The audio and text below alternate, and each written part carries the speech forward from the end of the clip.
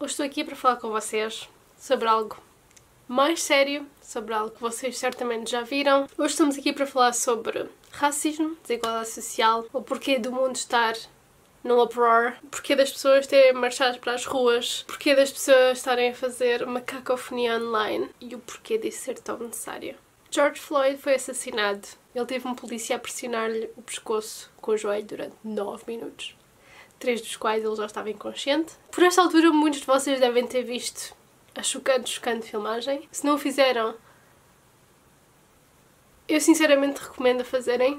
Tipo, é a pior coisa que vocês podem ver no vosso dia. Verem uma pessoa a ser assassinada em câmara e ninguém fazer nada por isso, porque o que é que eles podem fazer contra a polícia que está a fazer. George Floyd não foi o primeiro, foi um de tantos muitos que nós, alguns, ouvimos falar. E isto é só extraordinário por si só, porque nós, mundo, pessoas, ouvimos time and time again que estas coisas aconteciam, ouvimos de desigualdade, ouvimos de racismo, ouvimos de, destes crimes cometidos contra pessoas de cor. E nós sempre assinámos com a cabeça, sim, sim, mas nunca, nunca, nunca realmente entendemos a gravidade da situação. Até alguém nos trazer a Vivi a cores um assassinato em câmara que demonstra uma crueldade, uma desigualdade, um racismo e um ódio tão grande e tão perigoso. Estes últimos dias, para mim, têm sido dias de muita reflexão, de muito olhar para dentro, de ouvir as vozes das pessoas que sofreram estas desigualdades a vida toda e a tentar com isso perceber os meus próprios erros. Eu estava no dia a ver um live em que esta rapariga estava a partilhar a história dela que quando foi ter o filho dela ao hospital deram meia da dose de epidural porque ela era forte e conseguia superar aquilo. I won't begin to tell y'all how scared I was and I'm gonna I'm gonna share an experience when I had when I had my daughter. Um you know, I I ended up getting an epidural and it was so crazy that one of the nurses who happens to be black told me when the anesthesiologist walked out the room that he gave me a lower dose than what they typically yeah because i can take pain. So they gave me a lower dose than what they typically give and she knew all, she already knew what was what was happening. So she told me that when the shifts changed i think at seven o'clock that night if i needed more med- medication to get them to contact the anesthesiologist on call. So the whole situation with healthcare and especially black women dying at higher rates when it comes to um, when it comes to giving birth, that's a reality for a lot of us because I won't begin to tell you how scared I was even giving birth to my child. Outra, no Twitter, autores têm ido para o Twitter mostrar o quanto é que eles receberam para escrever os livros que escreveram por parte das editoras e a pedir um, autores brancos para fazerem o mesmo, para haver uma comparação. As diferenças são altamente chocantes, os números variam ao dígito e não é um caso singular. Também estava a ver um outro vídeo em que tínhamos estes polícias a confrontar e a querer prender este homem negro. Hey, hey, officer, listen. No, no, no. Go ahead, go ahead, go ahead. Matter of fact, matter of fact, look at my ID. He got the wrong guy, I'm telling you. Wrong ID, motherfucker. You guys do got the wrong guy. You guys are fucking stupid. That's not you. You guys are racial profile thinking I'm somebody. I got I take I both of you bro. motherfuckers. Take them, take hey, them cuffs off. O homem negro era FBI. Portanto, eles algemaram-no, continuaram a dizer que o iam levar para a prisão porque eles podiam. Quando ele disse check my pocket, eles viram o ID dele. Para além de demonstrar um preconceito puro, também demonstra o modo como a polícia pode abusar do seu poder e esse é todo o problema. São apenas três exemplos de muitas e muitas histórias que eu tenho ouvido e que me têm chocado. Agora, estas histórias não são novidade, as pessoas de cor têm estado a gritar que estão a sofrer, que estão a morrer. Estas histórias sempre existiram, estas histórias sempre foram partilhadas, a diferença agora é que o mundo está a ouvir. Eu estou super envergonhada de mim mesma, eu estou super zangada comigo mesma, porque eu sempre fui aquela pessoa que, ah, diversidade sim, eu apoio a diversidade, eu apoio vozes on voices, celebrar o próximo, whatever, todos somos válidos, mas as minhas palavras não correspondem às minhas ações. O famoso somos todos válidos não se aplica quando a verdade é que não somos todos válidos estar a dizer que somos todos válidos, que all lives matter, é verdade, mas se nós formos pôr All Lives Matter quando umas delas estão aqui, nada vai mudar. Racismo e desigualdade não é apenas tipo chamar nomes aos outros ou discriminar ativamente contra os outros. Racismo e desigualdade é uma coisa que está encornhada na nossa sociedade, é uma coisa que vem de anos e anos de escravizar o povo negro. Eu estava assustada, envergonhada e com medo de falar sobre o assunto.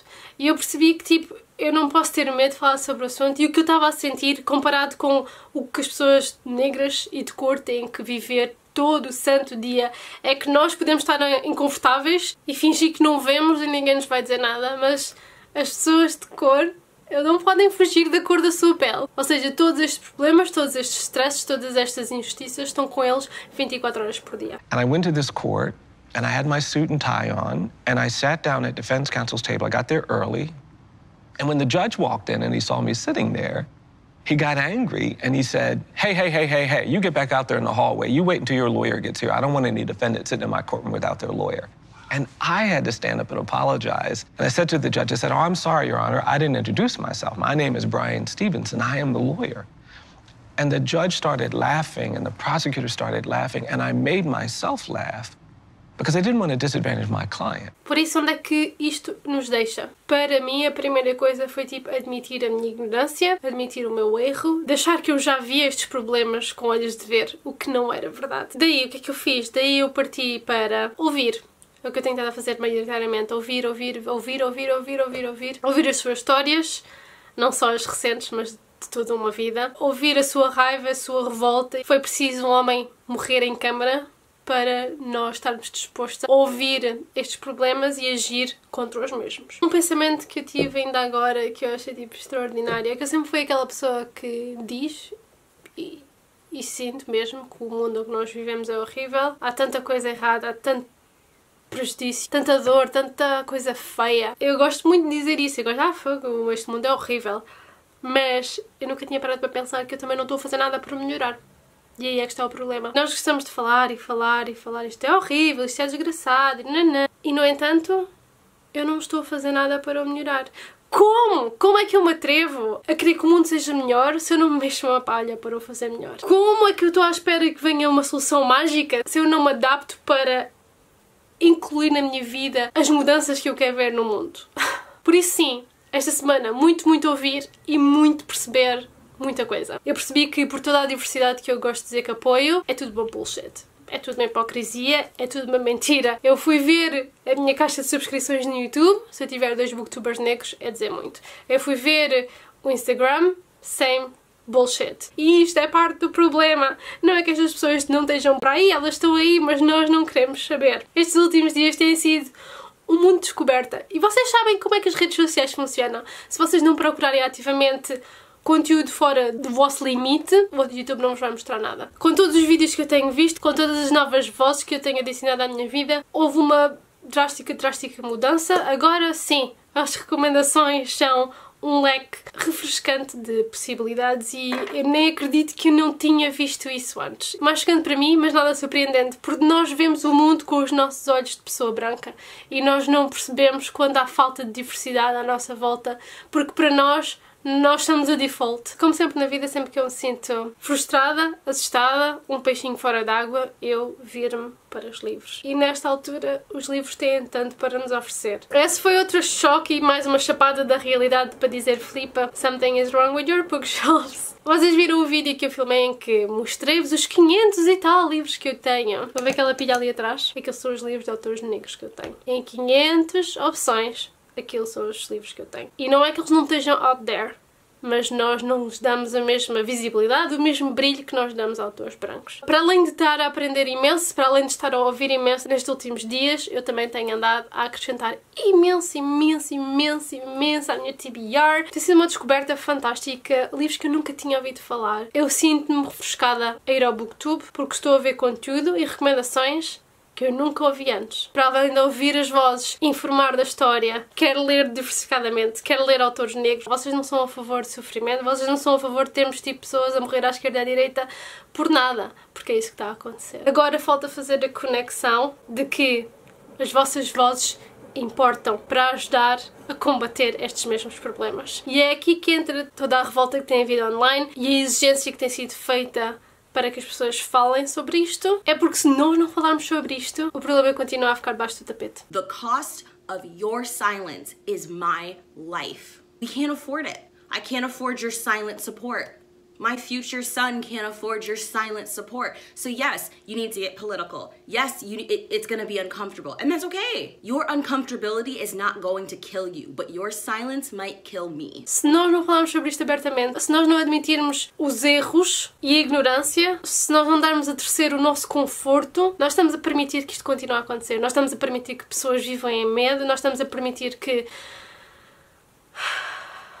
Eu acho que se chegaram a esta parte do meu vídeo, se ainda estão a ouvir e se acham que não conseguem conectar com o que está a acontecer ou se não estão mesmo a entender o problema, vocês precisam de mais informação. Estes últimos dias eu tenho estado a ler Just Mercy do Brian Stevenson. Este livro é um memoir, é a história do advogado a defender vários prisioneiros que foram sentenciados à pena de morte. O racismo e a discriminação é tão veemente, é tão fluorescente nesta narrativa real que é horripilante. Para não falarmos do sistema de justiça que tem tantos, mas tantos defeitos e para não falarmos da realidade que é a quantidade de pessoas que nós temos em prisões hoje em dia. E esta também é outro abordagem que é tratado neste livro que eu nunca tinha considerado, por isso sempre a aprender, não é? So, a vossa voz Importa o que vocês fazem, importa. Importa que vocês comprem livros de autores de cores, importa que vocês falem sobre esses livros, importa que vocês falem sobre estes issues, importa que vocês vejam racismo à vossa frente e digam olha aí para a while, não foste tu e não fui eu que trouxemos esta opressão diretamente, mas somos tu e eu que ainda permitimos que esta opressão ocorra nos dias de hoje, com todas as pequenas coisas e o nosso maneiro de ser. Resta-me dizer que eu entendo que é desconfortável falar disto e admitir estas coisas, criar disrupções ao nosso estilo de vida. Nós não nos queremos ter que preocupar, sofrer e sair do nosso caminho